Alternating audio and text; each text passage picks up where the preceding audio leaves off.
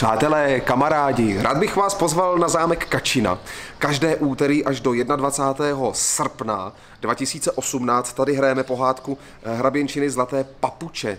Přijďte se na nás podívat buď od 11, anebo od 13 hodin. Těšíme se.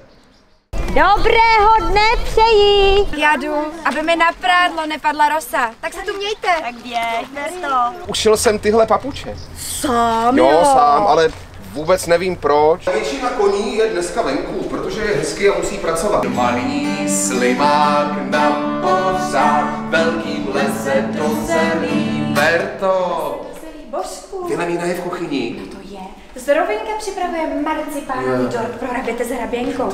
No, když jsem ho viděla, začaly se mi sliny zvíjat. Když budu servírovat čaj a kávu v růžovém porcelánu, posloucháš mě? Právě, že poslouchá. Tak si jděte. Tak si tě ten hrabě von Cedník z Talířova, nebo jak se jmenuje, vezme za ženu.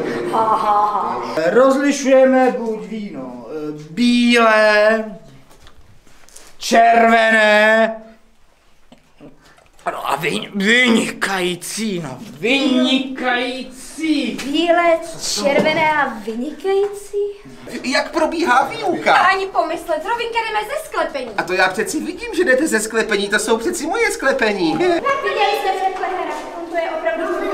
Viděli jsme. Já to tušil. Tak já na něj hned půjdu. Kdo viděl tančit Vilemínu? Viděli jste kuchařku zpívat a tančit? Tak někdo ji přeci jenom viděl. Právě toto je přeci taneční papuče. No. A tanečník se v tanci jaksi nadnáší, tudíž se nohou se mě nedotýká a nemůže prostě no. Hodláte se tedy přímo nadnášet? No jistě. Jako krocan nebo koropte? Ne jako frtlo, jako frtlo. V tom případě si nezapomeňte vzít teplý šál, aby vás neofouklo z vrchu. Já si hodím na záda Vilemínu a přijdu za vámi.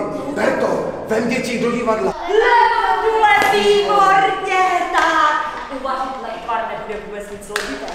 Jak my najdeme někoho, kdo je tady zamilovaný Zrovinka do naší Vilemíny? Právě, to přeci není člověče, nejsi zamilovaný do Vilemíny.